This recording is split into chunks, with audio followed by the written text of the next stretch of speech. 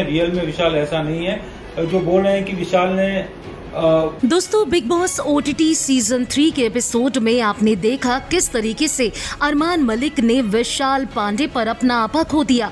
कृतिका मलिक के बारे में उल्टी सीधी बातें बोलने वाले विशाल पांडे के साथ अरमान मलिक की हाथापाई हुई, जिसके बाद विशाल पांडे अपने आप को डिफेंड करते नज़र आए कि मेरी इंटेंशन कृतिका भाभी के लिए बिल्कुल वैसी नहीं थी जैसा कि आप सबने सोचा। अरमान मलिक ने जिस तरीके से नेशनल टीवी पर विशाल पांडे पर हाथ उठाया। उसके बाद सोशल मीडिया पर दो तरीके के लोग हैं जो कि इस पूरे मामले पर अपनी रिएक्शन दे रहे हैं। एक वो लोग जो कि अरमान मलिक को बिल्कुल ठीक बता रहे हैं।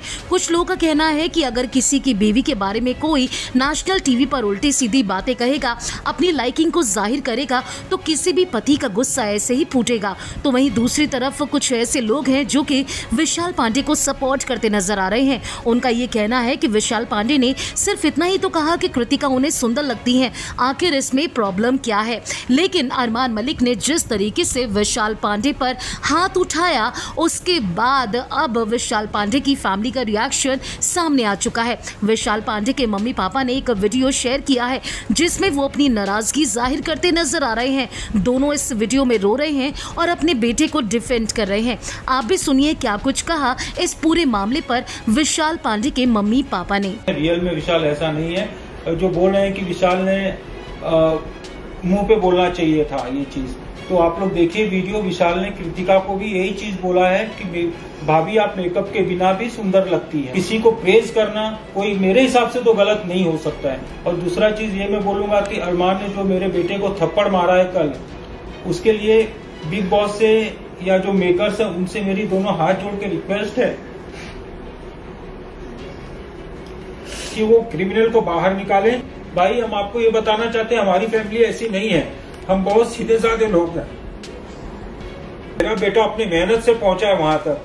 किसी के सपोर्ट से नहीं पहुँचा। उसने अगले दम पे जो भी हासिल किया, उसने किया है। एंड या प्राउड ऑन ही ठीक है? तो मैं यही बोलना चाहूँगा कि बेटा don't worry we are with you and ऐसा नहीं होता अगर कोई कंटेंट क्रिएटर है तो वो भाई कुछ नहीं है ठीक है?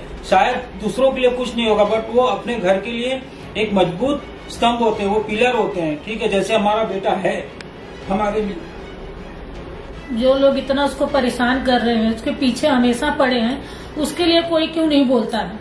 खाली मेरा बेटा ही टारगेट होता है हर बार। उसको लास्ट वीक में अरमान मलिक ने उसको कितना सारा पोक किया मच्छर कच्चा बादाम पड़े कच्चा बादाम। अगर भाई ठीक है हैं। उसने उसने अगर उसने अगर कंटेंट क्रिएट किया तो क्या गलत कर दिया कच्चा बादाम पे? अकेले तो उसने नहीं किया बहुत सारे क्रिएटर्स हैं जिन्होंने किया है। इसके लिए आप क्या क्या वो कंटेंट को आप गलत बता दोगे? और आप लोग क्या कर रहे हो? आप भी तो एक कंटेंट क्रिएटर ही हो आप भी तो इन्फ्लुएंसर ही हो।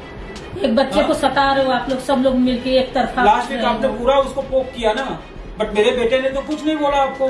हाँ आपने जितना उसको पोक किया, उसने खाली आपको उसका जवाब दिया है। But he never disrespected you आप लोगों से हाथ जोड़ के रिक्वेस्ट है कि आप लोग ये सही का साथ दीजिए और गलत को कभी बढ़ावा मत दीजिए। गलत का साथ बिल्कुल मत देना, जो सही है उसका साथ दीजिए। मैं ये नहीं बोल रहा हूँ कि हमारा साथ दीजिए। जो सही अगर है, उसका आप लोग साथ दीजिए और उसके साथ खड़े रहिए।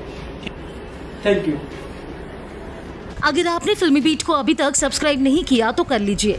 आप हमारा ये वीडियो फेसबुक पेज पर देख रहे हैं तो उससे भी लाइक कीजिए।